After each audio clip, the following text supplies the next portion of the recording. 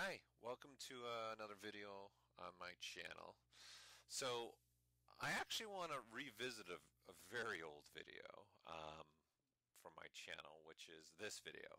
This ZBrush Merge multiple subtools that I shot 10 years ago in version 3.1. That's forever ago. So, people are still watching this video and getting information from it, which is fantastic.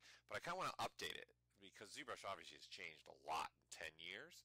So I want to now look at merging subtools in, right now I'm in version ZBrush 2019.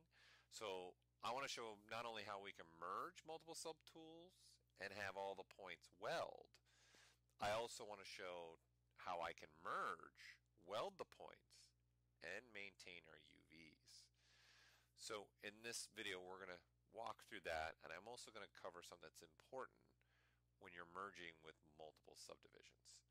Okay, so right now I have the demo soldier, and I've split his body into two separate subtools.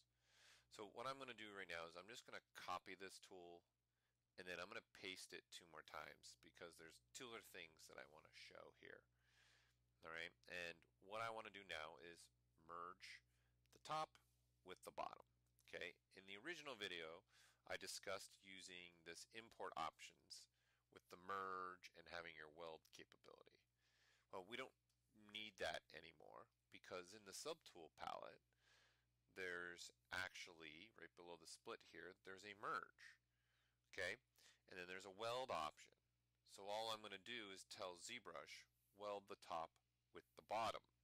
Now, the other thing to understand here is this top half, top half has five subdivision levels. If I use the down arrow key, that'll select the subtool below what I have selected, which is now you can see the legs are selected, and that also has five subdivision levels. So this is going to be become an important thing here in the video. Okay, so what I'm going to do is now just click the merge down. I'm going to say OK. ZBrush is now taking the body, the top half, and merging with the bottom half.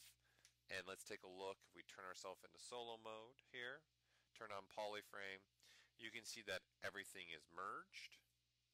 Okay, I can sculpt across and I'm good to go.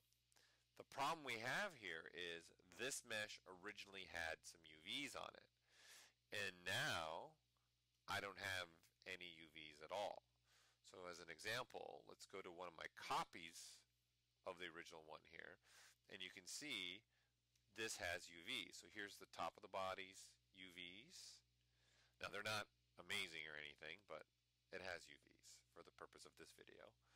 And then I'm going to down arrow key, walk to the lowest subdivision level, just so you can see the UVs. So you can see this mesh originally had UVs on the top half and the bottom half. So obviously if I'm merging these two together, I want these UVs to be maintained. So back to the subtool, and in the merge option we have a UV button. So that's exactly what this button is here for. It's telling that when you merge the two subtools together or merge the subtools at all, make sure you maintain your UVs. So not only weld, but maintain the UVs. So let's go ahead and click the merge down this time, okay? And this this is telling me that, okay, do you want to do this? I'm going to say okay. It's merging it down. And now you can see again we're back to one body. It also has maintained the subdivision levels. So I still have five subdivision levels. I can sculpt across again, smooth across it. So we got the welding capability. And let's see about those UVs. So I'm going to drop it down to the lowest level go to UV map and click this morph and you can see that the UVs are still there.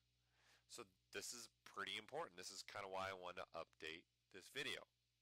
Now another important item though to discuss is the subdivisions. So I'm just going to click the third mesh that we have here which is the copy I did. So again we have the top half and the bottom half separate. They have UVs. Okay, they both also share the same subdivision level, right? So they both have 5 and 5. Now, if I was to divide up the body, the top half. So this one now has six subdivision levels. Okay, and the legs have five. So when you are going to merge one subtool with another subtool, not only is ZBrush looking at these two options here, it's looking at the subdivisions.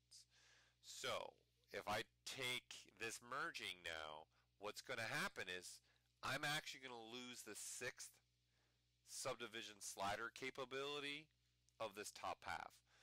So what ZBrush is going to do is going to take the top half and the bottom half and say, okay, I'm going to merge them, I'm going to weld them, I'm going to maintain the UVs. The problem is the top half has more vertex points and obviously it means it's got more geometry. So what ZBrush is going to do is say, well, the bottom subtool only has five subdivision levels, so I have to take the lowest number of the two subtools that I'm merging together, and now that's going to be the set subdivisions. So this is what's going to happen is we're going to merge this down. It's going to take the top and the bottom, and you're going to see that 6 become a 5, right? So you can clearly see we lost a subdivision level. So what we've lost here is the slider capability of the subdivision level. So the top mesh still has the amount of geometry I had when I was sitting at level 6, and then the bottom legs are still sitting at level 5. And I know this because if I zoom up in here, you can see there's a gap. And this gap is existing because if I walk down to the lowest level, you can see there is more geometry in the top half than the bottom half, and in particular, you can see there's points here now that can't weld with the bottom half. Right? So it's important that if I was going to weld this and the top half was at six subdivision levels, I'd want to just go and divide up the bottom legs to six so that I can make sure everything's welded together.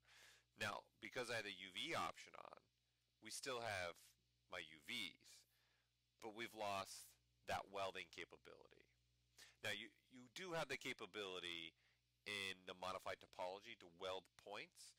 So if I start playing with this threshold slider right here and I turn it up a little bit and hit weld points, okay, this is saying, hey, the mesh contains subdivision levels, so it can't weld points.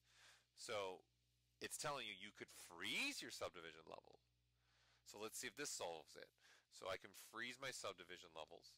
So what that's doing is it's ripping levels 2 through 5 off, storing it, and just giving us only level 1. So now, of course, if I do a weld points, there's going to be certain points that will weld. So like that, those ones in the front welded. All right, and there might be some other points here that can weld. So this threshold is just saying how far out for ZBrush to look at to weld, right? So you can see that point just welded right there.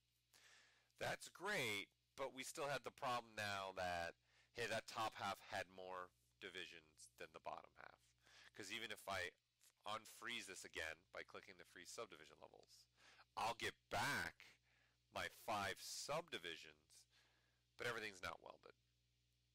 So what's important to understand about this merging capability now within ZBrush is when you guys are going to merge one subtool with another one, make sure they both have the exact same subdivision level and do you want the points to weld and do you want to maintain your UVs.